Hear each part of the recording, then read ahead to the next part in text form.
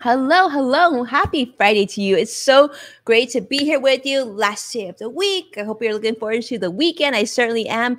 As you know, we're live here and I'm excited to welcome you to today's live level up conversation. Welcome to Level Up with Winnie Sun. Market updates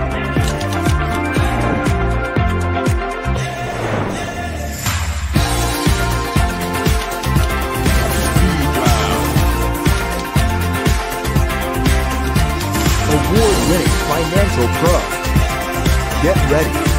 I present to you Level Up with Winnie Sun.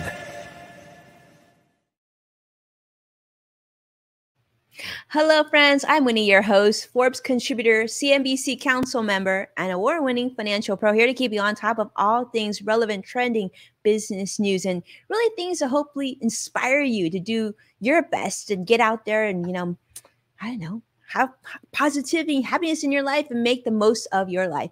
But most importantly, you're part of today's show. So I want to say a big hello and welcome to, of course, Joshua CrossX Fighter on YouTube Live. I see you joining us. Thank you so much for being here with us. Vicky Garvey on Facebook Live. What a treat to have you as well. We are going live, as you know, on like I think like more than eight different social media platforms. So don't be shy. Let me know how your Friday is going. Of course, how your week's going. And let me know where you're joining from. I would love to see your engagement because you're part of today's show, which makes it really, really fun. And today, we actually have a very special guest. He's actually a very good friend of mine. I'm really, really excited to have him on. He's the author of The Poshmark Guide for Individuals and Small Businesses. And uh, he's the creator of the po- Poshmark Seller Journal for individuals and small business, and co creator of the Corporate Circle. Uh, actually, no, the co creator of Corporate Cliches Coloring Book. He is an attorney, an entrepreneur, TEDx speaker, Poshmark ambassador, author, and let me just tell you, one of the nicest, greatest human beings you will meet. He's a, is a really, really great human. So you are in for a treat. He is certainly a friend of mine. I'm so excited to welcome him, but he's going to be here in just a moment because we're going to first start and tell you how the market closed. That's how we do on the show, right? So the Dow closed down 403 points in thong, and Nasdaq down 327 also in thong, and the S&P 500 also down 86. So unfortunately, we're we're ending the week, my friends, on a very negative uh, beat here. Stocks really slumped today. In fact, I just had several client calls today, and they're going to be disappointed to see how today ended. Unfortunately, you know, investors are still very much concerned about inflation uh, levels, of course, how the Fed's going to react next month, where their interest rate uh, increase, and of course, mortgage rates being an all-time high. People are still looking whether they rent, whether they buy, what what kind of financial decisions they should make for their own life. Should they retire? Should they not? Those are all things that are putting pressure on today's market. So we're seeing a lot of that trickle down, triple down day. Unfortunately, it is what it is. But you know, it couldn't be a Friday without me sharing some fun stories for you, right? And this is one that I thought you might enjoy. So I don't know, do you have do you have jeans at home? Because I certainly have jeans, and you know, being a mom of three kids, let me tell you, we seem to have a lot of a lot of jeans at home. But ever thought like that your jeans might have more value than you believe them to be worth, right? You know, I I've had as a, a longtime friend, the founder uh, of Joe, uh, not Joe Jeans, Hudson Jeans, and Peter Kim, one of the really, really profound artists, especially in the area of fashion. But here's a story that I thought was interesting. This is, of course, an article shared on CNN and a lot of other places too. There was actually a pair of jeans, uh, 19th century Levi's jeans, in fact, that were recently sold. Get this for $87,000. That's right. So you're like thinking maybe I have some old jeans in my closet and how much could they be worth? Well, if you had jeans that were around since the 1800s, they could be worth quite a bit. And it's interesting. I thought this was really interesting because in this story, you hear about how you know, I don't know if it's a Gen Z or a millennial. He went and he bid and he made an offer and bought these jeans. And the historic value is pretty unprecedented. If you take a look at even the jeans themselves, actually look like you could wear them today. Uh, they have certain some details that are unique to during that time period but you know they they're not that much different than some of the jeans that you wear today. Uh, but certainly you know they had suspenders versus regular belt loops but just fascinating the history of how long levi's jeans have been. I see that and i see cross-site fighter saying $87000 for a pair of jeans. Yes in fact that's sort of the resale market right? I guess they they call this like true vintage and I guess true vintage is worth quite a bit in the denim space and in fashion in general. And someone who knows quite a bit about that is my guest today. So I kind of hinted earlier who he would be, but you probably don't know his name. But if you're if you've interacted with me on Twitter, on our tweet chat, you actually might know. You might have even guessed. He is John Lim. So John, welcome to the show. How are you today, my friend? I'm doing great, Winnie. Thank you so much for having me and happy Friday to you happy Friday to you as well. And and actually on that happy Friday to Robin Stevens. We're also seeing her join us on LinkedIn Live. Hi, Robin. so much for being here, Robin. It's so great to have you. So John is the host of the Moving Forward podcast. John, I know you just celebrated what 400, 200, episode 400. 400 episodes. That's right. And you were you were one of my featured special guests on that episode well i i'm thankful that i was able to to to be part of that. I mean anything that has john lim attached to it i feel honored to be a part of. So congratulations 400 episodes. Thank you. Did it feel like as much work as it was? Yes and no. I in some ways it's gotten a lot easier since i started but at the same time it's continuing on and keeping that content consistent and uh, you know keeping to a schedule. So that's always uh, that's always a challenge. And then as with anything you know it, it, takes it takes effort to run a marathon. So but i'm having fun. I that's the bottom line. I i just i find the joy in it sharing the information connecting with an audience. And so for me it's it's it's a lot of work but it's also a lot of fun it's a lot of fun. I know we talked about this. Is just talk about the brain trust opportunity too. I know you've had so many wonderful aha moments talking to your guests and learning about their experiences. And so I love to start there, John. I know you're an entrepreneur, you're an attorney, you're, you know, you're not only an entrepreneur, but an incredible speaker, podcast host as well. You know, I think a lot of people who meet you for the first time are sort of in awe and I'd love to hear your backstory of how you got to where you are today. Can you take us back a bit? Sure. And uh, that's a very, very, very flattering way to put it. I like to say that I'm actually an expert in career wanderlust because, uh, you know, what I do now has very little resemblance to what I started out doing. So, you know, I, have done so many different things, and and that was purely accidental, unintentional. I started out practicing law in the D.C. area, and and so that was college law school uh, legal practice. I found that it wasn't it wasn't quite the right fit for me. So I left the traditional practice of law. I worked in corporate America for uh, over a decade, working for a, a legal research company, and uh, really enjoyed that. I got to work with a lot of different clients, and that's really where I honed a lot of my presentation skills was doing a lot of presentations sales presentations seminars uh, and and that was really valuable. I also took a bit of a sideways detour and i was an actor for a couple of years. So wow. it was a passion that i had uh, you know had a little bit of a seed for when i was in college taking uh, classes to prepare for law school. And then it was uh, during a retreat while I was working for this uh, legal publishing company that they brought in a, a drama professor from Harvard.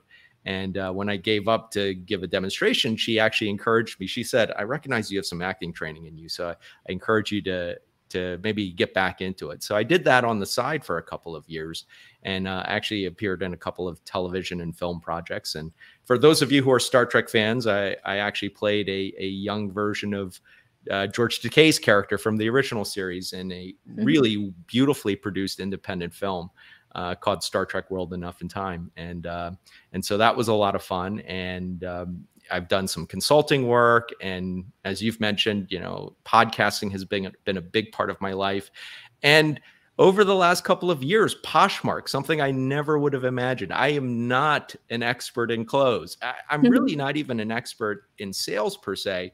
But uh, my dad, who's been a lifelong entrepreneur, he is you know he's been immersed in that world for a long time he has a small business and so i've been working with him for the last four or five years trying to help him get his small retail business online and so that's how uh, that's how I discovered Poshmark and fell into that journey.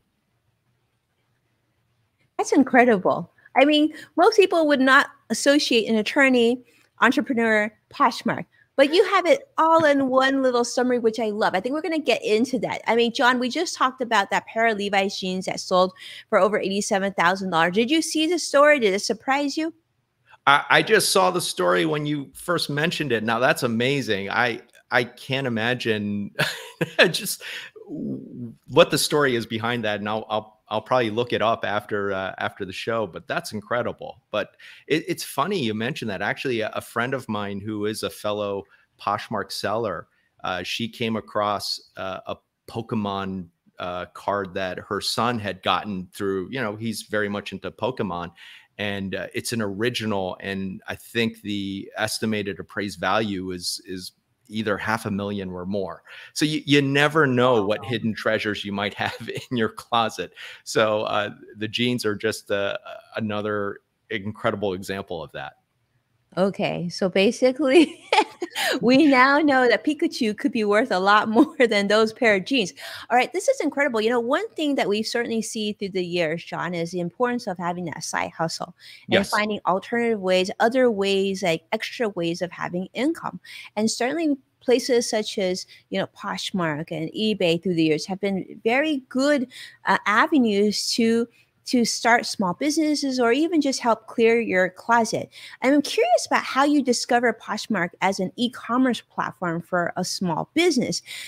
Like, how did this come about? Why not eBay? Why not somewhere else? That's a great question, Winnie. And in fact, that's where we originally started. So finding an e-commerce solution for a small business actually our first inclination was to try ebay and this was this was around maybe 2008 9 ebay at the time had a small business platform. It wasn't uh, as well known probably as it is now.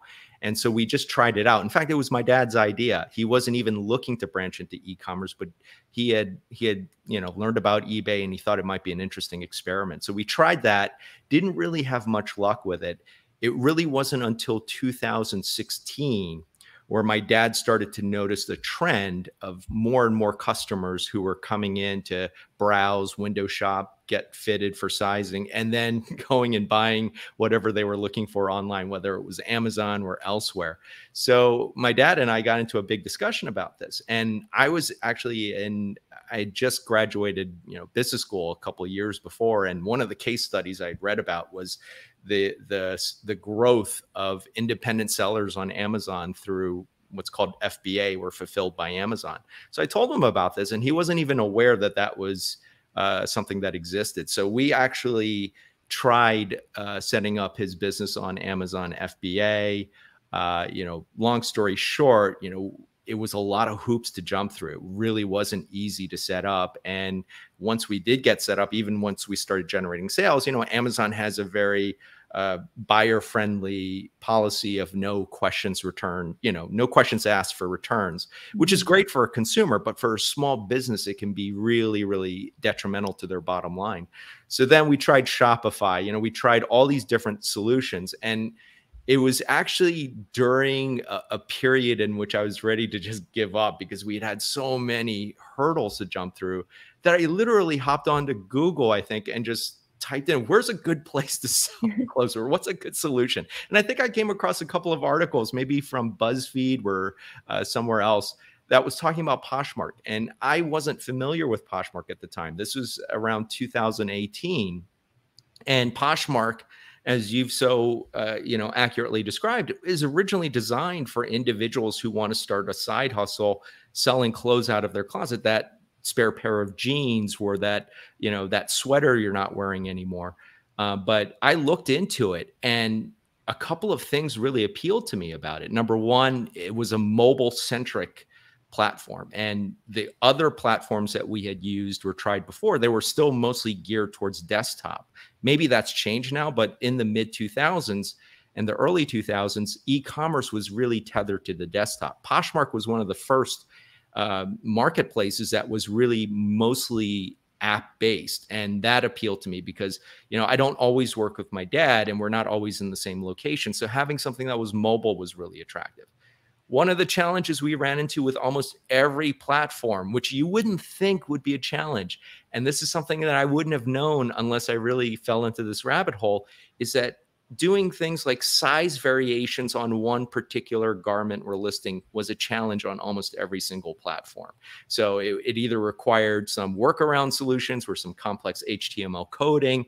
And Poshmark has a very simple interface. So they try to make it as easy as possible. You literally you can download the app, set up a store, set up your storefront, your virtual storefront, list your first item, you can do size variations it's very very uh, it's very well designed from a user interface standpoint so we downloaded it and decided to try it as an experiment now in 2018 I don't think there were many businesses that were on Poshmark. It was still mostly geared towards individual sellers. So we were either the first or one of the first small businesses that actually decided to use it.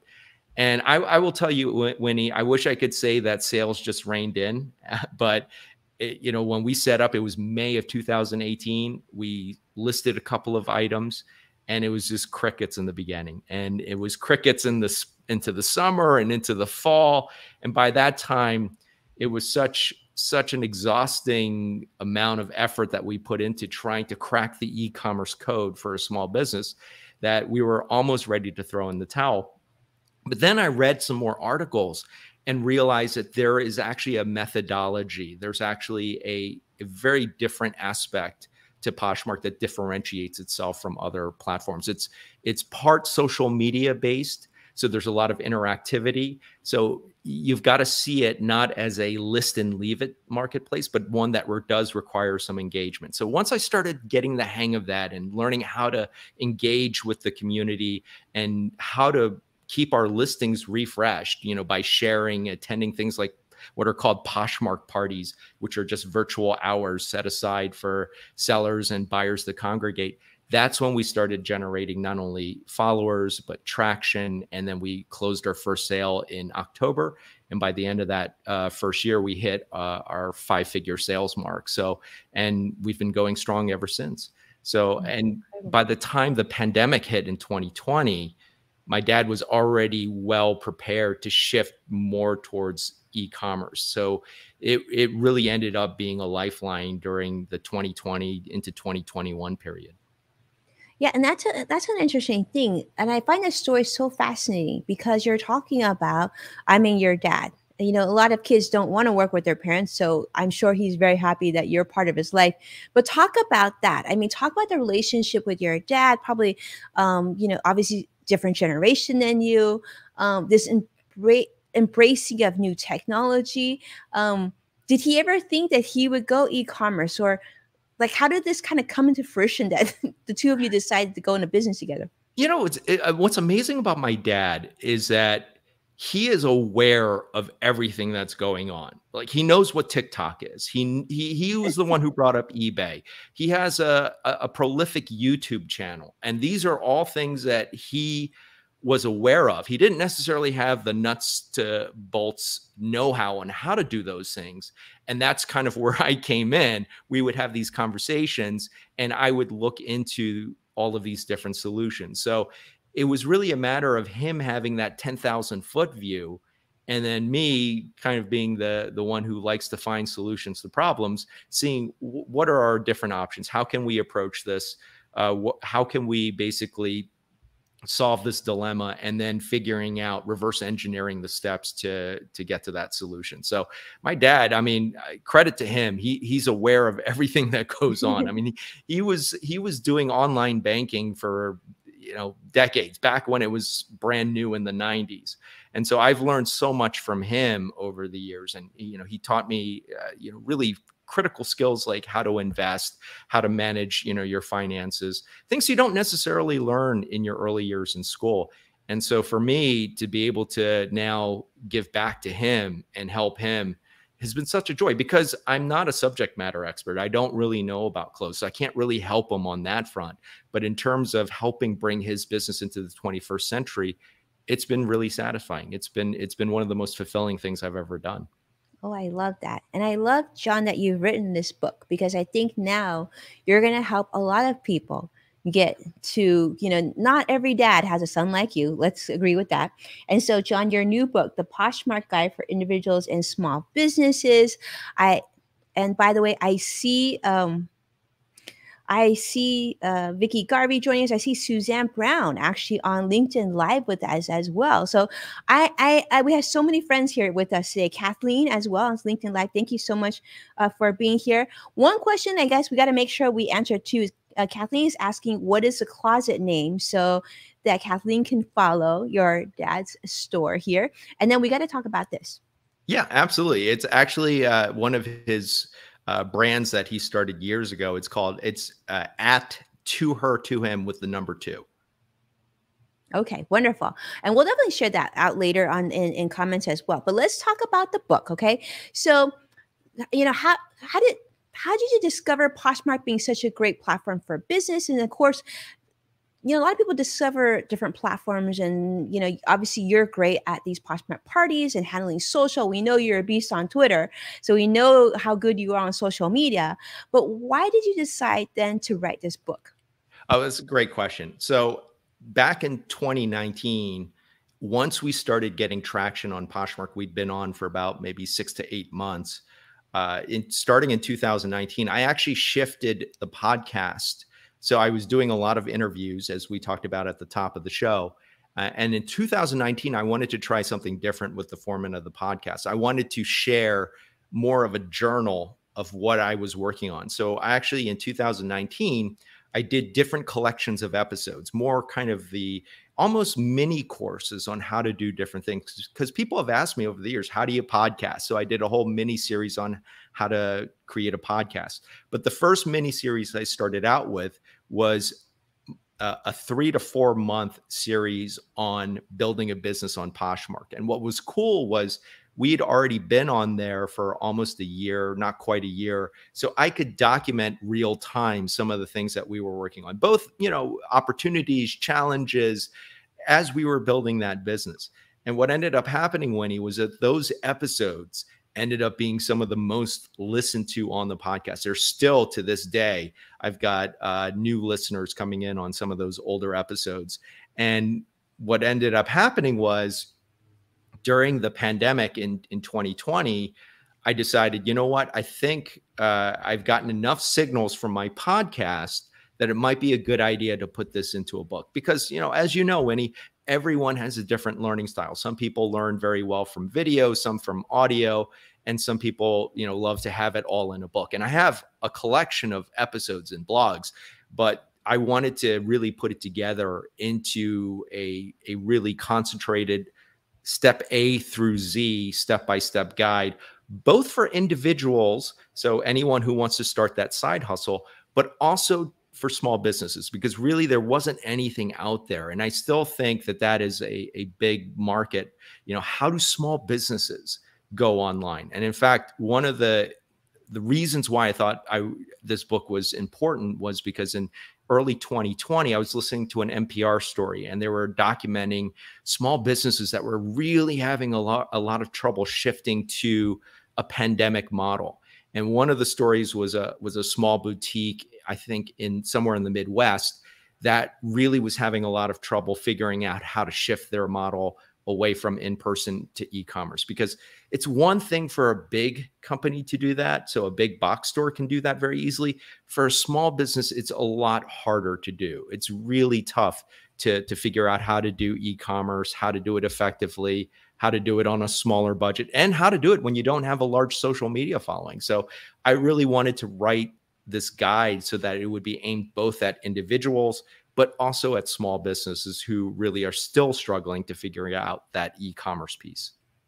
I love that because you're right. I think it can be very intimidating, especially when this is your side hustle or or maybe, you know, or or even if you've been displaced in your you're in transition phase of going from a typical nine to five to setting up your own e-commerce store and selling things and figuring out those those those different bricks, right, to pile them on. I think this is what's really great. I, I gotta share this book. So this is John's book. If you haven't seen this already, we're definitely sharing this with you. And of course, we've also shared John's podcast link with all of you as well. I see that uh, Vicky Garvey actually requested it on Facebook Live, so we're gonna do that. But one chapter I gotta put on everyone's radar. I think this is probably there's a lot of golden nuggets in this, but this in particular, you're gonna want to put a post-it in it, like I did here.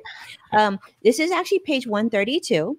And you're going to love the title. Okay, Sadiq, you're going to love this. Okay, 17 screw ups, complaints, returns, and one star reviews. This is, I think, John, something that a lot of people are concerned about. They're like, I don't want to sell on Poshmark. I don't want to sell on eBay because people could downgrade me. What if they don't even pay for my item? And like, you know, I just have a complete crash and burn experience. I don't know. It just seems too overwhelming. And therefore, I'll just keep my junk in the closet. What do you say to that?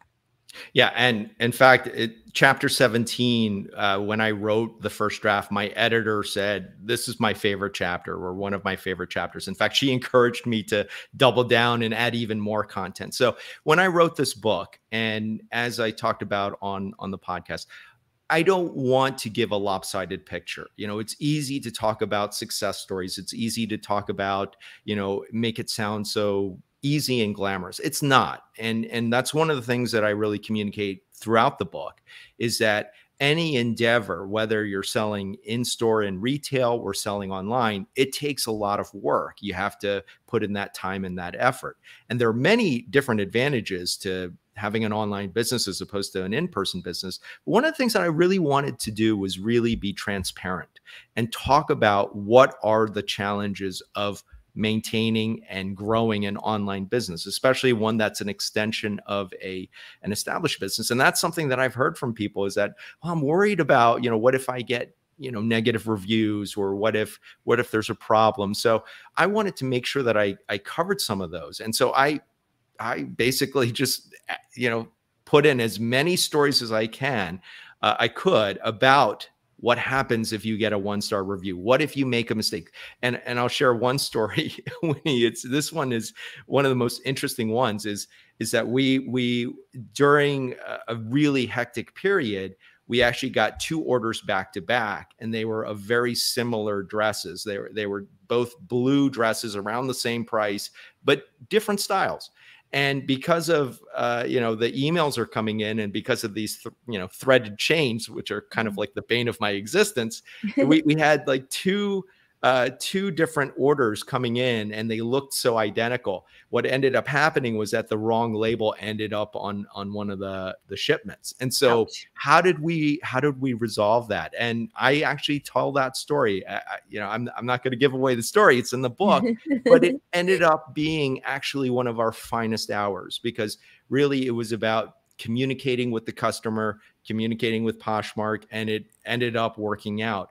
And, and so I talk about those things. I talk about the, you know, what to do if there is a problem, if someone, you know, feels like that the item you know isn't as it was described. How do you resolve disputes? There's a whole dispute resolution process that poshmark has that i, I really want to walk the individual or especially the small business on how to navigate that. And why if you do get a one star review and i say this and this may be a controversial statement that if you do end up doing very well on any e-commerce platform, mm-hmm. if you generate a lot of sales, I think it's an inevitability that you're going to get at least one, if not a couple of one star reviews. It's impossible to uh, have complete 100% five star reviews. If you are a growing business, I think that's one of the one of the things that you will end up facing. So I, I always say it's a it's a when, not an if question. But I talk about that. I, I in fact I even disclose in the book how many five, four, three, two, and one star reviews we have and why it hasn't impacted our business because my bottom line has always been as long as you're putting your best foot forward, doing the best that you can, treating each sale as if it were a four figure sale, the law of averages is going to work out in your favor. So, you know, that's why, and I, I say this at both the top of the chapter and at the bottom of the chapter. I do not share these stories to scare you off, but to give you that balanced perspective and to understand that this is just part of you know being a business owner or running a side hustle is that sometimes you will run into issues. But you know fortunately they're far and few in between. If if you put your time and effort and you're conscientious about it, it these are not everyday occurrences but they do happen and it's important to have the right perspective on how to handle those issues when they arise. So john i got to ask you this. I mean we're friends so I, I, I feel like i can ask you this. So um, I know you're handling these social media parties on Poshmark for for the store and whatnot. Are you that enthused and excited about talking about dresses and clothing and to, to a point where you know you how long do you think you can keep this up? Well, I'll tell you what, you know, it's definitely not my wheelhouse, but I will tell you one of the most fascinating things that I ever saw. And this was about year two into the business. We started out by selling mostly prom dresses and um, uh, bridesmaids dresses. When my dad, and my dad really is the forward thinker here, he was the one who said, we should start listing wedding gowns. And I said, Are you kidding me? No one is going to buy a wedding gown online, you know, when they haven't had a chance to try that on. That, that I was not a believer in that, mm-hmm. but we started listing wedding gowns. And I kid you not, Winnie, we've sold I, I think close to a dozen wedding gowns.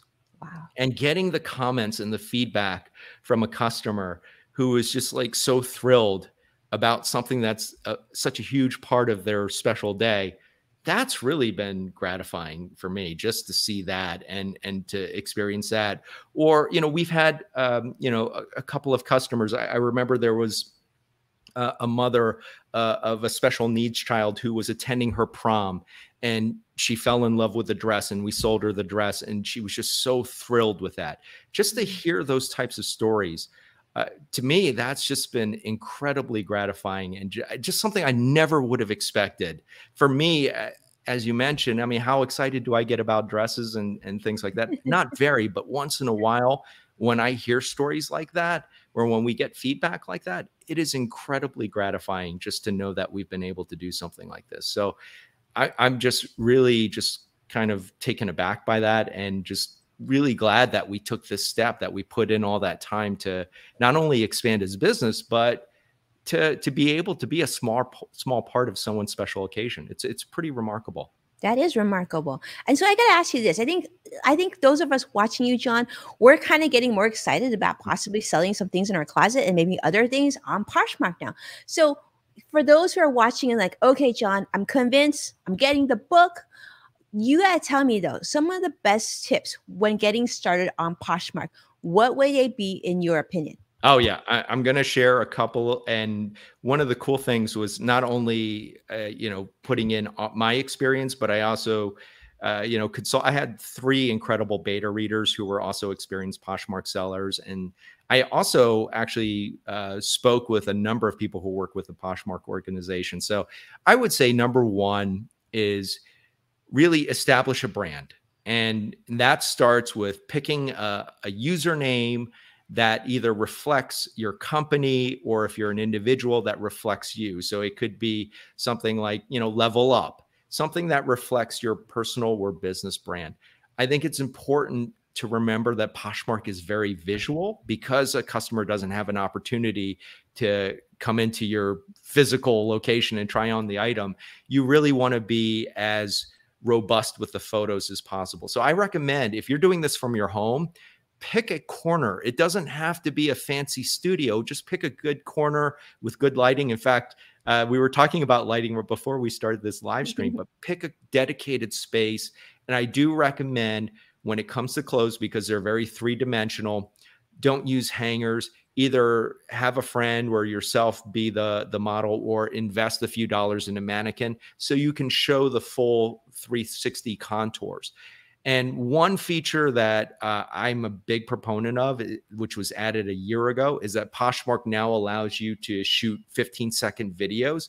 Videos, I think, are a game changer. So you can do videos of your listings and that will make you stand out. But the number one tip that I have to be a, a successful on this platform is to be responsive.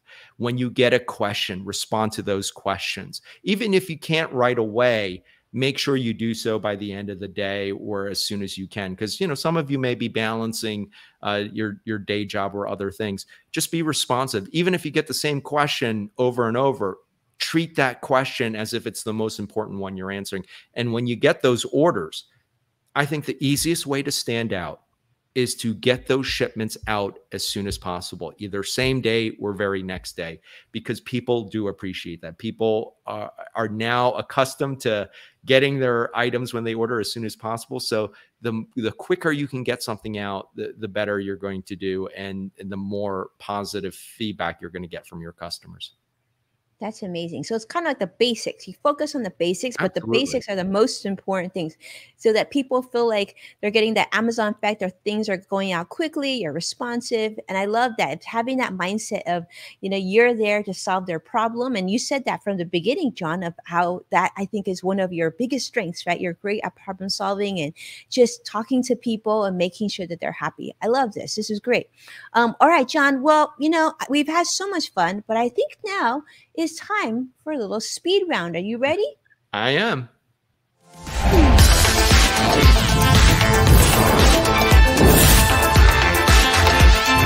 Speed round.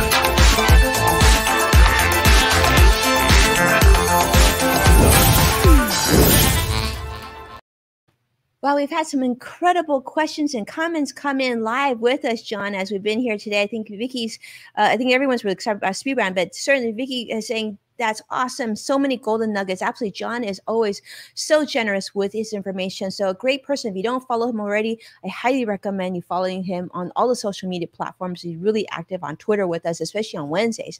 But John, here we're going to do we're going to give you basically two questions about five minutes to answer them so if you don't mind we're going to start with the first one john you know i know we've talked a lot today but what would you say is your biggest aha moment in your adult life what do you think this has been wow i mean i was thinking that so many things come to mind with that i've had a lot of aha moments throughout my life and my career but one in particular I, you know my mom uh, who I would be remiss if I didn't mention her. She was just this this really inspiring individual. She was a great entrepreneur herself, really immersed in the fashion industry. Uh, when she passed away, you know that was probably one of the most difficult times in my life, and it was through the grieving process that I really became closer with my dad and really understood what it is he does and how how much he really worked all his life, you know, providing for for his family for us and so I, think you know through that grieving process you know i was living on the west coast at the time i ended up moving uh, back to the east coast to be closer to him and and you know while it was a difficult time it, it definitely brought us closer. So I, I, would say that was probably my big aha moment. And you know, she always inspired me in life to to just uh, Uh, you know keep on trying and do your best and and and find joy and happiness in whatever you do and and i i try to i try to take that to heart with everything that i do I love that. I think we need that. We needed to hear that today, John. More joy and happiness in everything that we do, and really prioritizing the people in your life right that that give yeah. you that joy and happiness so so so beautiful thank you so much john and i gotta add you know suzanne brown is with us say on linkedin live Hi, and she's Suzanne. saying yes we love suzanne and she's saying that you always share great nuggets on your social media channels i couldn't agree with her more. I mean, I feel like not only do you share great content, John, but you're always so generous and, and teaching us the things that you've learned along the way, you know. Oh, thank and, you. And packaging them in a way that makes sense for us. Mm. so thank you so much for that. All right. So next question is this. You know, we believe on this show that everyone has their own yes factor. Some people call it superpower. We call it yes factor. What would you say, John, that yours is? Ah, my yes factor actually comes in three parts. So there's curiosity. Uh, you, you know, when my dad or or someone that I'm working with comes to me with a problem, I become curious about it. That's where I learn more about what it is they do, why they do what they do. And then secondly, there's a um, so these are the two parts that are kind of tied together. I I'm I'm very much of a problem solver mind, so I will try to figure out a solution if there's there's an issue, if there's a way through. And added to that, there's a stubbornness in in not giving up, as I mentioned, and and I, I it, it's one thing for me to say it in in five seconds or ten seconds, but I go into this in the book just how difficult it was to to really find an e-commerce solution. And so, and there are many times where I felt like, you know what, maybe we should give up. Maybe this is just not going to work. Maybe this is a pipe dream. So it's that combination of of just trying to find a solution, but also that stubbornness of not giving up and just seeing something through to completion. And I, I think that's kind of a through line in a lot of things that I do, including writing. You know, writing a book it can have its own challenges. And there are times where I felt like, am, am I ever going to be able to kind of collate all this and see it through to the end? So it's that that combination, curiosity, uh, you know that drive to finish something that I start and stubbornness that kind of continue keeps me going along the way. I think it's also your humility, John. You're such a humble, sweet person, and I love that. So curious, problem solving, and stubborn. We'll take it. Even someone of your caliber, your talent. By the way, we didn't even mention that he went to a little school called Johns Hopkins. I mean, like, you know, talk about really just a full package, but not only that is not even with all your successes.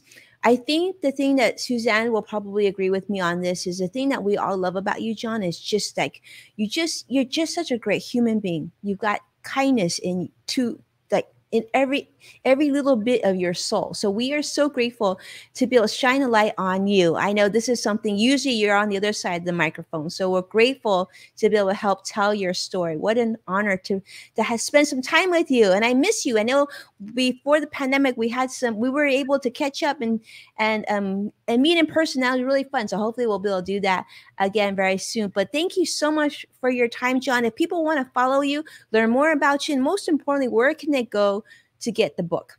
Uh, thank you so much. First of all, thank you so much for having me on and and for this conversation. I really appreciate it. I always appreciate you, Winnie. You're you're absolutely amazing. So, uh, most social media, you can find me at Be Moving Forward. The book is the Poshmark Guide for Individuals and Small Businesses. I should also mention I created a separate seller journal, which I think is a great tool for new sellers you know those of you just starting out i have uh, inventory worksheets negotiating guidelines and you can find these books on Amazon. In, in fact, I, uh, right now, you know, they're very easy to find on Amazon. I have links on my website, bemovingforward.com. If you listen to my podcast, they're they're in the show notes, so it's everywhere. You can find it very quickly, very easily. I love it. I love it. And where where should people go? And do you do you check your direct messages yourself? Like if people want to ask you questions, where would they go? You know what? Social media is pretty good. LinkedIn and Twitter uh, DMs, I, I'm not always great checking those every day, but I do get around to them. But you know, I've had people tweet at me uh, directly about Poshmark. In fact, one of my beta readers, who's since become one of my friends, actually reached out to me on Twitter, which was pretty remarkable. She listened to the, she found the podcast, and then reached out to me on Twitter. So Twitter, LinkedIn, those are generally good places to find me, and and you know, hit me up with questions. Amazing, amazing. Well, thank you so much, John, for your time. And of course, thank you so much, my friends, for being here with us on this Friday afternoon or evening or morning, whatever your time zone is. We appreciate you being here.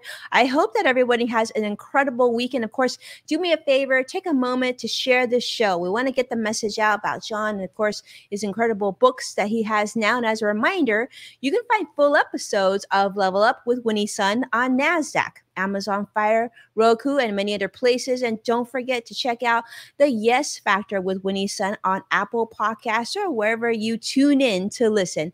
With that, take a moment to like our stream. And of course, I will see you next week. But please have a, a beautiful weekend and we appreciate you so much. Take care now. Bye bye.